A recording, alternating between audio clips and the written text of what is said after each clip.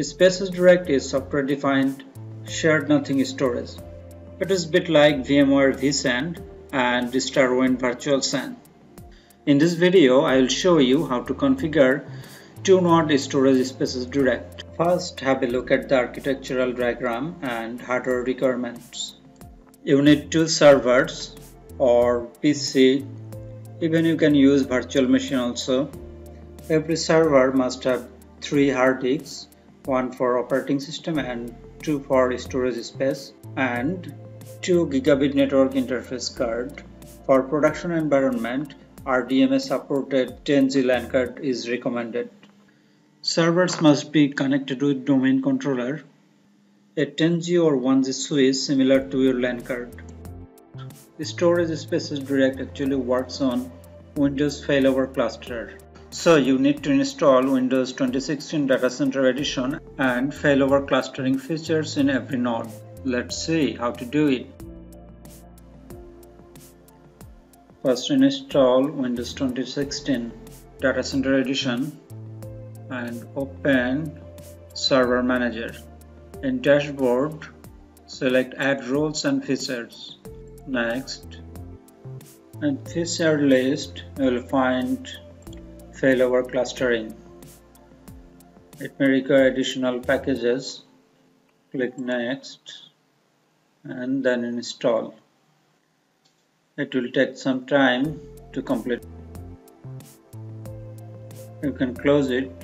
Installation will run in background. You can see the progress in the notification area.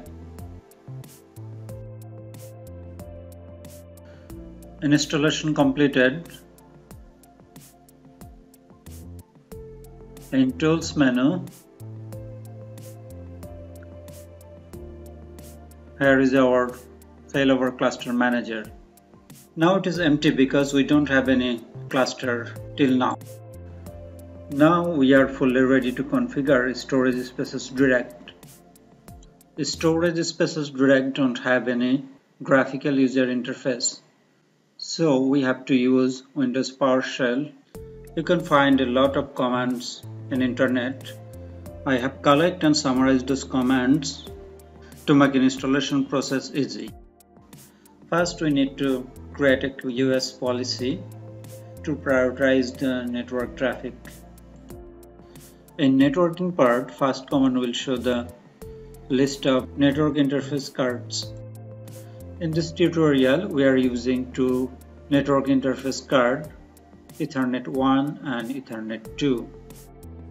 In the next command, we'll create a virtual switch called ACT switch adapter name must be replaced with the real adapter name. In this case, it will be Ethernet 1 and Ethernet 2. After that, create two virtual network interface card SMB1 and SMB2. Finally, enable RDMA if your network card support it. Before cluster test, please give a relevant name of your servers. In this case, it is server 1 and server 2 and both servers must be a member of domain controller. Finally run enable cluster storage space direct command to create S2D cluster. Log into any node, run failover cluster manager, click connect to cluster, type the cluster name or node name.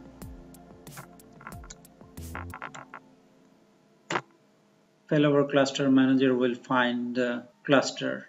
Cluster manager has connected with the cluster S2D cluster the storage section. It automatically created storage pool. Here you can see storage space direct automatically created a cluster pool using physical disks of two servers now we can create